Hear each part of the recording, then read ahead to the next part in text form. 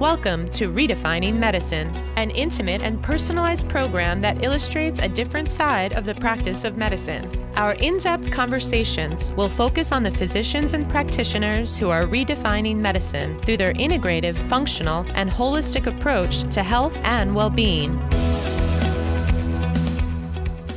We are excited to welcome Dr. Sandra Knight an anti-aging practitioner in Kingston, Jamaica. Welcome.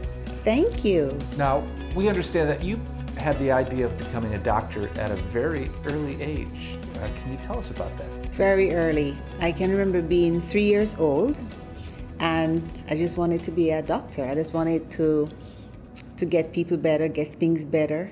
I started catching insects and rats and stuff and experimenting with them, looking on the inside to see what they're made of. And then when I was five years old, this got really cemented because my grandfather died from a heart attack, and I was like, I need to cure heart attacks. So that was that has been my mission. I mean, I'm not a cardiologist, but I do help hearts. I would like to believe. Where did you go to med school?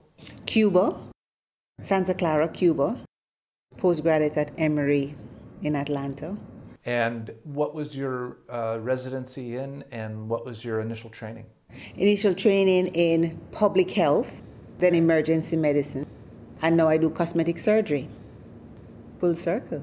So let's uh, talk a little bit about uh, public health. I understand that you served as a program specialist for the Center for Disease Control. Can you tell us a little bit about that? Oh, that was such an intense role. Um, we were in charge of 12 countries in the Caribbean. It had to do with HIV in particular, the prevalence of HIV, combating the spread of HIV, and also chronic non communicable diseases. And it was challenging because the landscape between the of the 12 countries were so different. And so it was so challenging to really hone in on each and be able to help them based on their social and cultural context. Right. So I found that very fascinating that health had so much to do with culture and social circumstances and the fact that all of these have to be into these quote unquote what persons might consider non-medical stuff has to be integrated in the way we see people's health. So that was that was an, uh, an immense eye opener for me. And i was always fascinated with the interaction the energy play between human beings. And that energy play comes very easily when you look at a population and how disease spread within that population so that was a very fascinating experience for me. So uh, tell us about your practice today then. Oh, I do an integrated cosmetic surgery and regenerative medicine practice. Um, it is located in Kingston. We do a lot of body sculpting, facelifts, Botox fillers, everything that the cosmetic surgeon does. And I, and then because of A4M, I've been able to integrate a lot of regenerative medicine, primarily to speed up healing after surgeries and to prepare the chronically ill so that they can have maximum results and they can remain stable in terms of their vitals and their general um, health status, remain healthy enough for procedures and after procedures. So I found that immensely useful in terms of serving my patients and having them have better outcomes. Uh, when did you get introduced to A4M? I got introduced to A4M about six years ago by a colleague who had been to a fellowship here. Mm-hmm. And she said, You have to go. She said, and I'm, I'm like, Okay, I'm going. So I've done I've done multiple fellowships and, and I have not regretted not one minute of it. Yeah fascinating. And it's an interesting organization as well. It is. Because it's got such a diverse membership. It's not just all osteopaths or yes. cardiologists. And it also gives you an opportunity to network with other yes. like-minded physicians as well.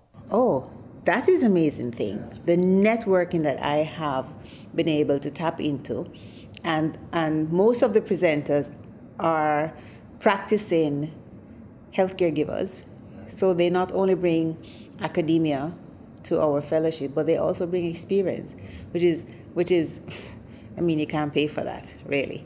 So it, it's all, it's always a good experience. So we're here at A4M LA. Uh, what courses are you taking here? I'm doing the peptide fellowship, oh. one and two. Very fascinating, lovely, wonderful. I've learned a lot. The information is is extensive. The the science behind it is solid, and they do give a lot of science behind what they do, which is what I like. You know, you're not only telling me, okay, do this, but why are we doing this? Right. How does it help the cell? How does it help your body? How does it heal? What are we trying to address? What is the physiology behind this? And, and I love that. I love that because then I can understand and I can actually go back and sort of integrate what I've learned with what they have shown me in the physiology so I can, you know, I can be able to better put together protocols, etc. So I, I like that. Right. So actually, for people who aren't that familiar with what peptides are, could you give us a little 101 on peptides? Sure. Well, most peptides are actually naturally produced in the body. Peptides are substances, um, just like amino acids and other type of compounds that are actually produced in the body. Some are not, a few are not. And what happens is that they are responsible for the proper functioning of cells in terms of your mitochondria, your nucleus, cell, the, the, the, how the cell remains intact. So, of course, you know, we age due to cell death, right? Apoptosis. And these peptides are able to slow down that process, one, uh, reverse signaling for cell death, two, and in so doing, can reverse many disease conditions that we cannot reverse with contemporary medicine. So it's very fascinating. We saw some videos today of, of, of testimonials of clients, and it, it, it's really amazing. I can't wait to start. Um, and so, the way that you would want to use peptides in your practice? Speedy recovery. So, my practice is a, is, is a huge practice. Um, a lot of clients, I want to get them out of my stable quickly after procedures. So, I want rapid healing to get them to a comfort level where they feel good enough to get up, mobilized, etc., etc. So, and also, I have chronically ill that I do procedures for that I need to stabilize first before I get them into surgery. So I just want to mix all of that so that the patient can benefit and can heal faster and actually come to me and be better, you know, get better even from an illness that may have plagued them before. So it's it's it's it's it's I'm happy. I'm happy to start.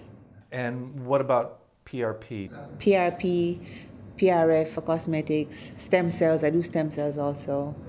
Um, PDO threads. Um, Myers, um, like my version of Myers, vitamin therapy, IV vitamin therapy, mineral replacement. Um, I do a lot of IV therapy. I do a lot of IV therapy, which not only supports my patient are going through procedures, but other patients that come just to um, um, fight fatigue, fight illness, fight stress, anxiety. So I do a lot of that for my patients. So it sounds like it's a wellness practice in addition yes. to an aesthetic practice. Very important. Very important. It's very important because that aesthetic part is just one part of that human being.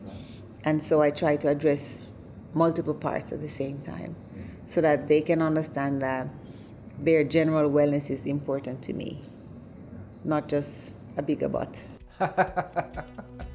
I know, right? right. Well, we're thrilled that you're here, and, and thank you so much for thank taking you. the time. Thank you. Of course, of course, anytime.